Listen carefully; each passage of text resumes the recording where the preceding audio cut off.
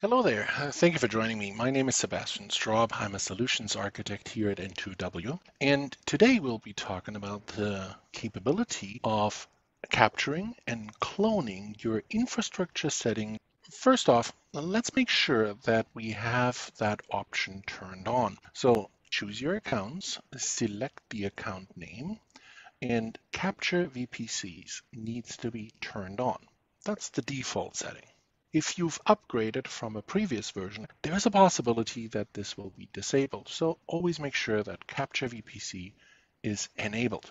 Once you've done this, now we also need to turn it on. And you'll do that under General Settings. Select that. Now Capture VPC. And we need to turn it on, enable.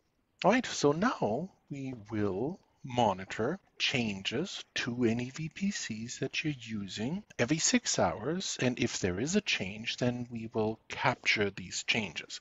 That means we're not actually going to create a backup every six hours. We're only going to capture these settings if there is a change. Now, if I select capture now, I can trigger this right now just to show you how it works. It doesn't take a long time at all.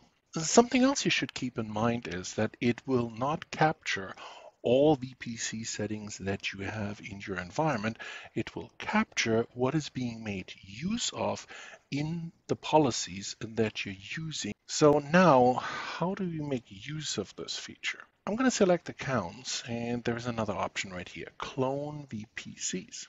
If I select that, that's the setting that we just captured. And I can also choose the different VPCs and I can choose the capture date. Remember I mentioned that we're not going to create backups of your configuration every six hours, really only when there is a change. This also means if uh, somebody would say, well, I need to recover a production environment or workload from, let's say, October 29th, well, I obviously can do this. Now with this feature, I can do you one better. I can also set the entire infrastructure that goes along with it. VPC, subnet settings, routing tables, security groups to the same time and date.